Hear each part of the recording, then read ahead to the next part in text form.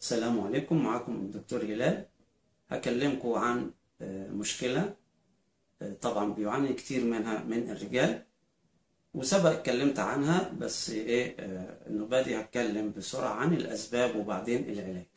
في في اتنين فيديو. الفيديو الأولاني عن تعريف هذه المشكلة وأسبابها والفيديو الثاني هيكون إن شاء الله عن العلاج.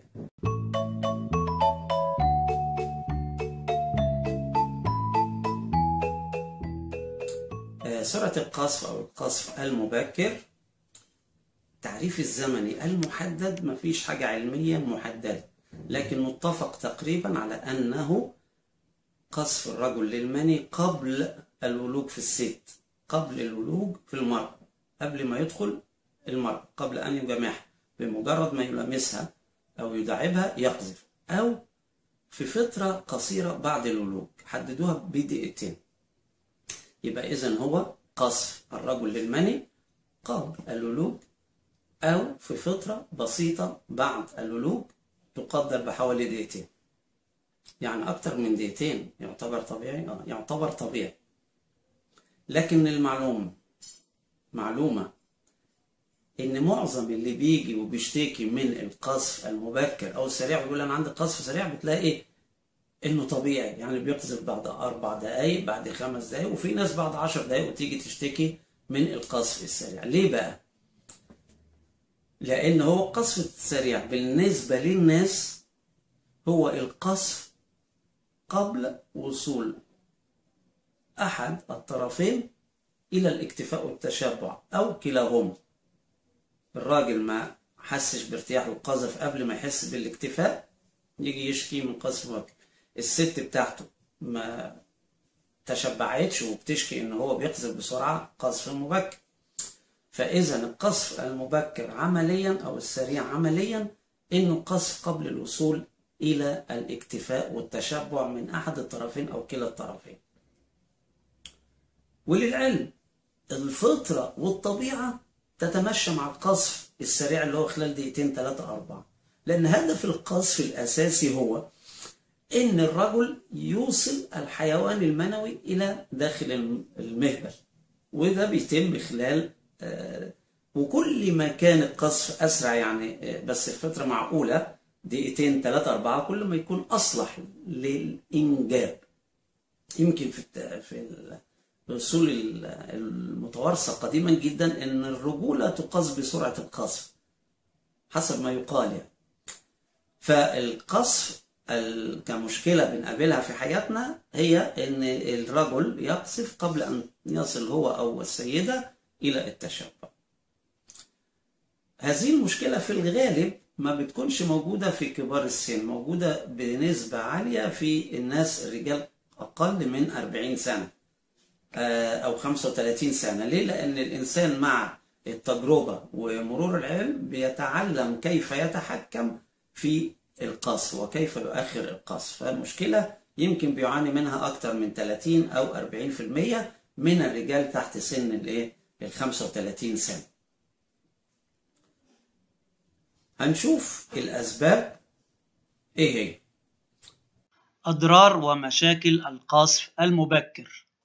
طب إيه هي خطورة هذا الموضوع أو هذه المشكلة؟ القصف السريع. القصف السريع خطير مش بس إن المتعة أو الاستمتاع أثناء المعاشرة الزوجية بتبقى مفقودة لا ده ممكن الأسرة تتهدم بسببها. كيف يكون القصف المبكر سببا في هدم الأسرة؟ مش هيروحوا يطلقوا ويقولوا بسبب الطلاق سرعة القصف لا ده هو سرعة القصف بيؤدي إلى مشاكل حتى إحنا ما ندركهاش. هذه المشاكل هي اللي بتؤدي إلى إيه؟ آآ آآ الانفصال والطلاق وبالتالي هي مشكلة مهمة جدا. مثلا سرعة القصف ماشي؟ الراجل يبقى طبعا دي محرجة جدا للراجل. ف وخصوصا لما تكون الست بتاعته يعني متطلبة يعني يعني بتتطاول أو يعني تجرح الراجل بهزار أو بجدية. يعني ممكن الراجل يكون طبيعي بيقذف خمس ست دقايق وده طبيعي جدا. لكن الست بتاعته لسبب ما ما بتوصلش للتشبع إلا بعد ربع ساعة. فيجي هو يخلص في ست سبع دقايق هي تلوي له بوز والعياذ بالله. ولو بقى هي يعني ربنا يعني بليء أكتر تتريق عليه أو تهزر معاه بطريقة تحرجه أو تبين غضبها أو تتهمه. يعني دي الأنيل بقى إن هي مثلا ممكن تتهم تقول له آه ده أنت آه، مش قابلني أنت كارهني ده أنت عندك واحدة تانية. وهو مظلوم. دي حاجة تخلق مشاكل. ممكن الراجل نفسه لما يحس إن عنده سرعة قذف ي- يبقى خايف من الممارسة الجنسية يبقى مش هايب منها مش عايز يعني حاجة بتحرجه مش عايز يعملها فيبعد يمتنع عن جماع الست. طبعا دي ممكن تعمل مشاكل نفس الشيء. فمن هنا سرعة القذف دي بتعتبر مشكلة اجتماعية وأسرية مهمة جدا قبل أن تكون مرض. وعشان كده هنشوف أسبابها ونشوف طرق علاجها إن شاء الله. أسباب القذف المبكر. آه الأسباب القذف السريع اللي هو سريع فعلا آه ممكن نقسمها إلى نوعين. هي متلازمة من أسباب اجتماعية ونفسية وقد يكون فيها سبب مرض. و- والأسباب الحقيقية غير محددة إلى الآن ومش معروفة لقلة الأبحاث في هذا المجال نتيجة الإيه؟ العوامل النفسية والتكتم حواليها وعدم القدرة على البوح و و و و والكلام بصدق فيها. لكن نقدر نقسم إلى نوعين نوع أولي ونوع ثانوي. الأولي اللي هو الرجل بيعاني من سرعة القذف من يومه والثانوي إن الرجل كان طبيعي وحديثا أصبح يعاني من سرعة القذف الأولي ده أسبابه آه، نفسية آه، آه، الراجل من يوم نشأته وهو برمج عقله وجهازه العصبي على إنه لازم يقذف بسرعة يعني ممكن أثناء ما كان بيعمل العادة السرية أو الاستنماء الشخصي الذاتي برمج نفسه على إنه لازم يقذف بسرعة لأنه خايف أو خجلان أو مستحي أو خايف حد يشوفه أو يمسكه. الشيء الثاني إن آه، ممكن يكون اتعرض لصدمة جنسية أو ممكن يكون آه، ناشئ في مجتمع آه، رباه على إن الجنس ده شيء مشين ومخجل وينبغي التخلص منه بسرعة بسرعة. النوع الثاني الثانوي اللي هو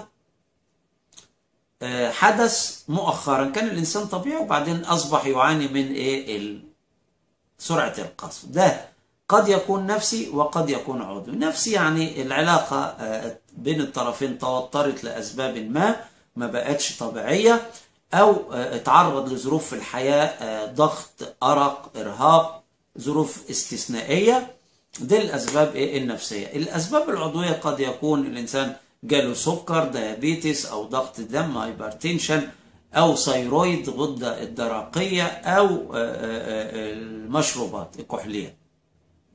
وقد يكون في أمراض اللي بتؤثر على الأطراف العصبية أو الأعصاب وبتدمرها زي ال multiple sclerosis آه كده خلصنا تقريبا الأسباب ونحب نضيف ال- آه، اللي بيعاني من القذف السريع في الغالب بيبقى تحت سن ال 35 لكن مع التجربة والممارسة الرجل بيتعلم أو بيتمرس على كيف يتحكم في القذف ويؤخره بعد كده. علاج القذف المبكر. هنبتدي بقى نتكلم عن الشيء اللي أنتوا كلكم قاعدين مستنينه وهو العلاج. كلكم طبعا أو الإنسان اللي بيشاهد عايز عايز يسمعني أقول له إيه العلاج. قبل ما أتكلم مفيش سحر ما اوعدكش دي مش حاجة ليها حباية تشفيها. مش زي آه، آه، ضعف الانصاب ضعف الانصاب شيء له سبب محدد فبنقول خد آه، كذا وكذا بيتحسن. خد فياجرا آه، ليفتيرا أو آه، سيالس بيتحسن لكن ده شيء هلامي. ما فيش حاجة محددة لكن بيتحسن. وبيتحسن وبيتحسن. بس باتباع خطوات. وأساليب ممزوجة من نفسية و... وإرادية وعقلية وممكن برضو بعض العلاج. ولو إني أنا لا أنصح بالعلاج في هذه الأمور أو الحبوب لكن آه، ممكن تحت آه، إشراف طبيب. فهنشوف العلاجات وإزاي نتغلب على سرعة القذف وأكيد اللي عنده رغبة في إنه يتحسن هيتحسن لا نقاش فيها من خلال تجارب الواحد الشخصية ومن خلال آه، الاستماع إلى تجارب الناس اللي بتجيله وبيشوفها وبيتابعها. اللي عايز يتغلب بيحقق آه، نجاح واضح ولا شك فيه. في الفيديو الجاي هنزل لكم علاج سرعة القذف بطريقة مؤكدة ومضمونة 100% فتابعوني. شكرا لمشاهدة الفيديو وما تنسوش الإعجاب بيه والاشتراك وأيضا تفعيل الاختارات بالتشيك على الجرس حتى تأتيكم الفيديوهات أول بأول.